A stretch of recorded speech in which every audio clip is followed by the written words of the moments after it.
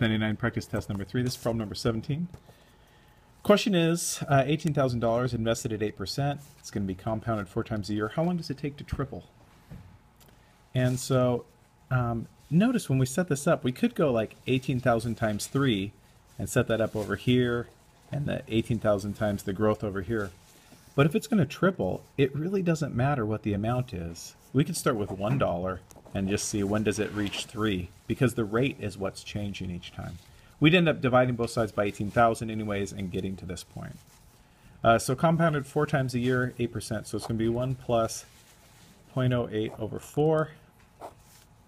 Compounded four times a year. And we want to know how long it takes for it to get up to 3. So, whew, let's go ahead and rewrite this thing. Definitely rewrite it. And so I can, I don't really, don't really need this one. So I'm going to think of it as 3 equals this number, whatever it is. I could, I could figure out what it is in my calculator if I wanted to. But I know that this is just a value. This is my base. So really what I'm looking for is log base this.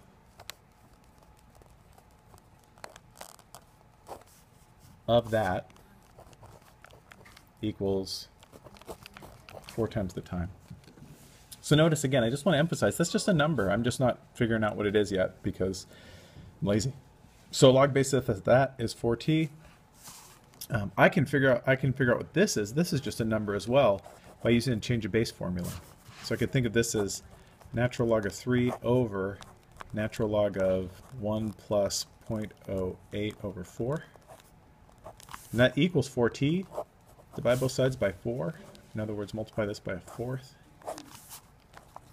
And that'll give me my time, my t in years. Grab my calculator. Looks like that's about 13.87 years. Pretty close to 14 years.